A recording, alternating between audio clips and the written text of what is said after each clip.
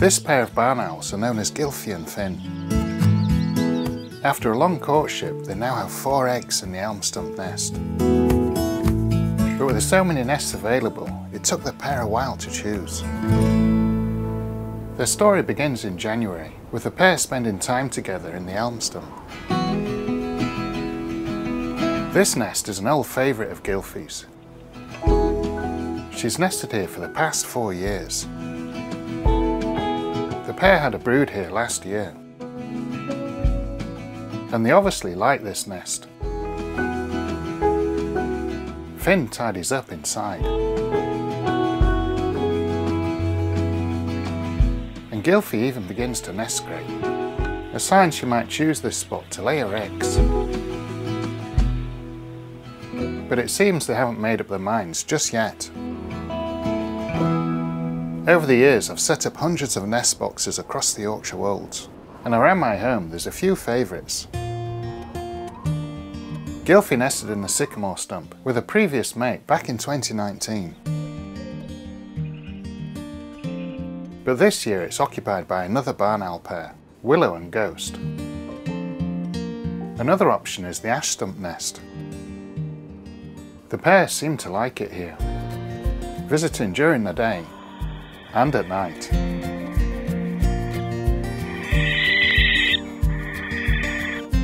And the nest scraping here too.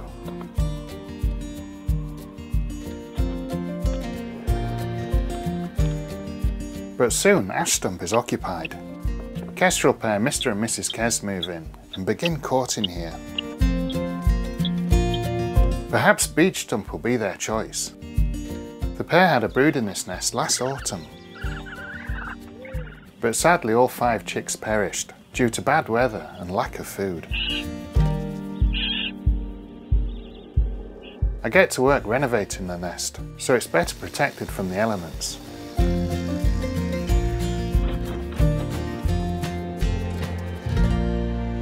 And it's not long before Gylfie arrives to check it out. But she's not the first here. Tawny Owl is already inside but this doesn't stop her entering. And a vicious fight ensues. The female tawny owl Luna hears the commotion and lands outside.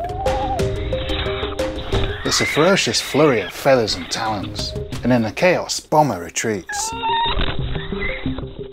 Gylfie isn't far behind.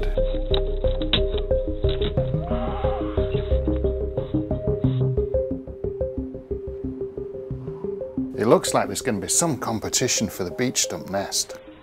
But this doesn't stop Gylfie bringing Finn for a look.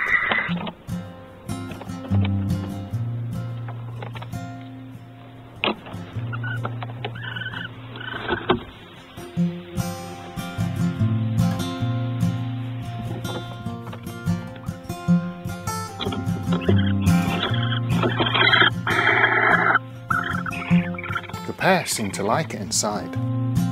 And Gylfie even scrapes here too. She can't seem to make up her mind.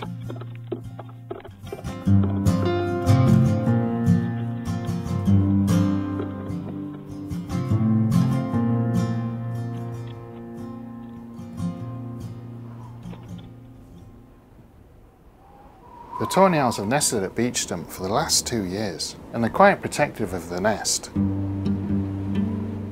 Female owl Luna seems keen to ensure the barn owls know who's in charge. She visits Elm Stump to intimidate the pair. Gylfie hears her outside and squares up.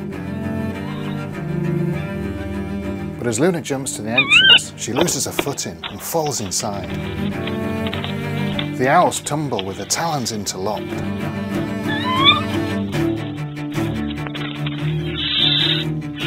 Break apart and Luna dashes out, with Finn hot on her heels.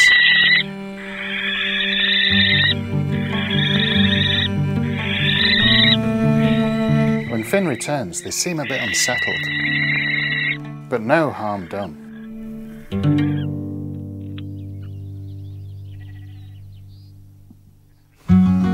It's now March, and despite two months of house hunting, Gylfie still can't decide on a nest.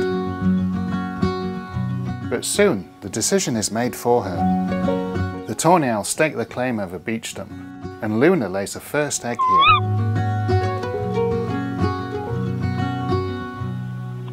And the kestrels have decided on the ash stump nest. It seems like Elm Stump will be the barn owl's home this year. With the nest seemingly decided, courtship is ramping up between the pair.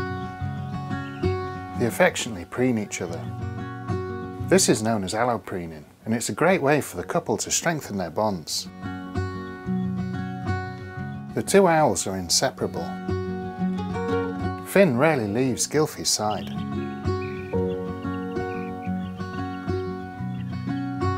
Both birds are scraping inside the nest. It's looking like they're keen to lay their eggs here.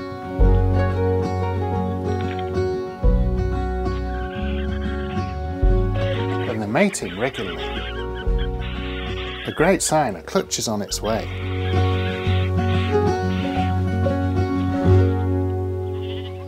But despite courting an elm stump, both birds are still curious about the other nests.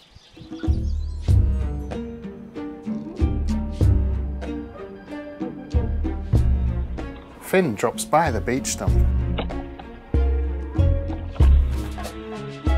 He seems amazed to find an egg and gently taps it with his beak.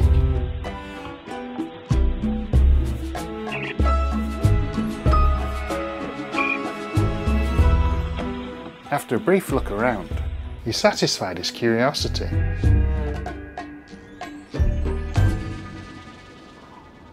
Gylfie is also still unsure and heads over to check out the ash stump.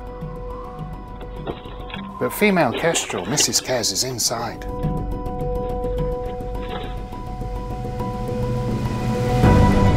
The pair have a brutal tussle, lashing out with their talons.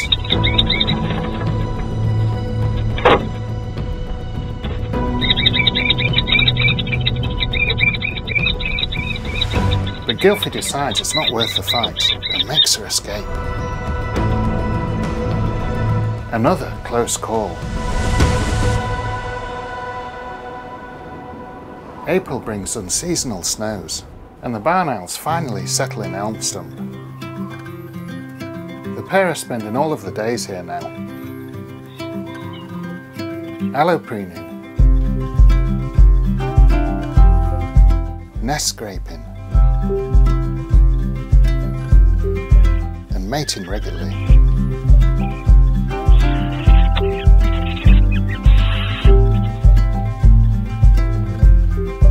Towards the end of the month, Gylfie starts resting sat down, a sign she's nearly ready to lay.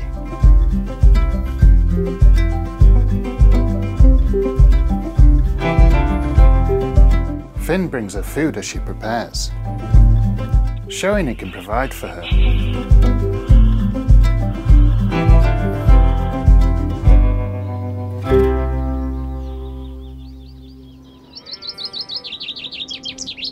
The start of May, Gylfie begins contractions. She's laying an egg.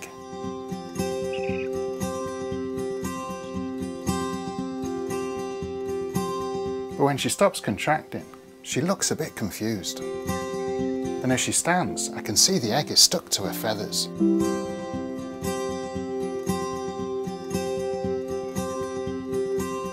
Soon she shakes it free and reveals the first egg. Unlike some birds of prey, barn owl eggs are incubated as soon as they're laid, and she'll incubate almost constantly.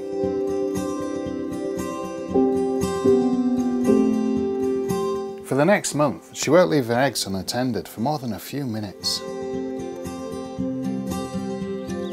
Now the first egg has arrived. Finn is working hard to support his mate. He brings in regular food deliveries, so she doesn't need to leave the nest to feed.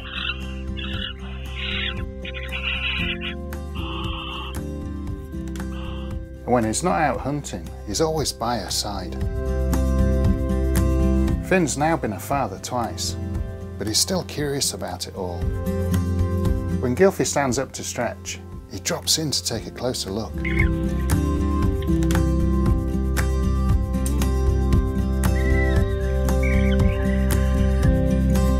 Gently taps the egg, before Gylfie quickly moves in to take over.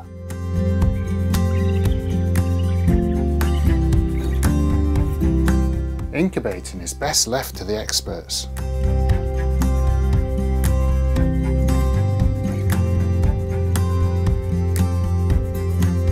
Three days after the first egg was laid, Gylfie is breathing heavily again.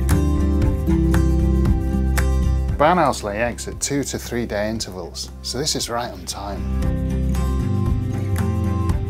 She stands up as she lays a second egg.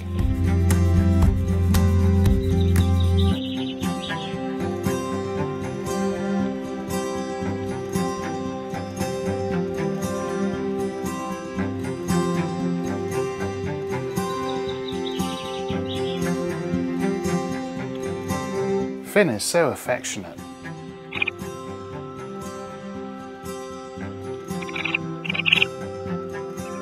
And inquisitive too.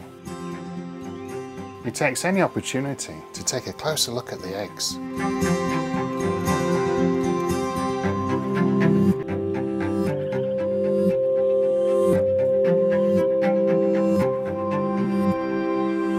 Over the next week, Gylfie lays eggs three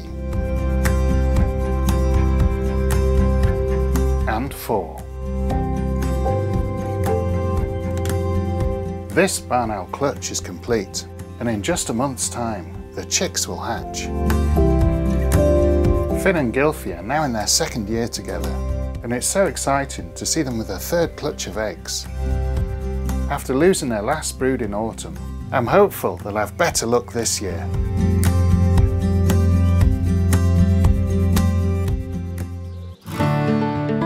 In the next video, the chicks begin to hatch. And I can't wait to watch this pair step up to the challenge once again.